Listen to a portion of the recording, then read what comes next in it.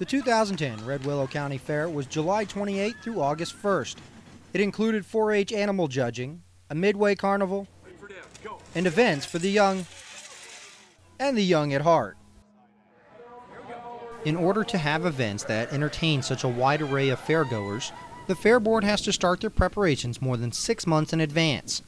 Wayne Watkins and Jay Schilling, both board members, explain.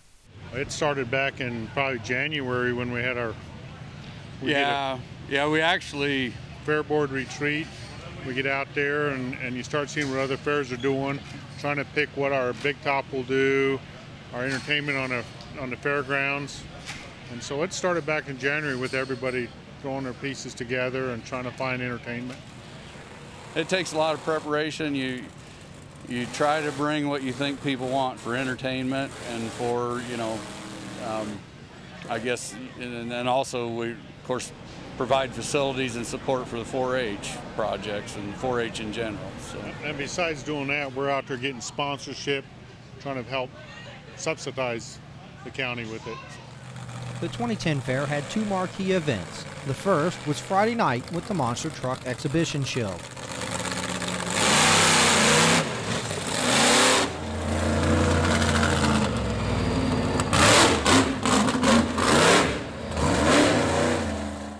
The second was the NSRA Rodeo, which took place Saturday and Sunday night.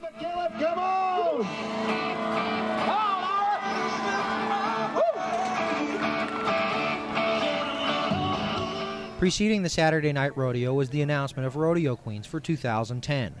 Furnas County Princess Jessica Percival spoke about what it takes to prepare for a Rodeo Queen competition. Um, I had done a lot of practice and work with my horse and that stuff, prepared him for like whatever they could have had done.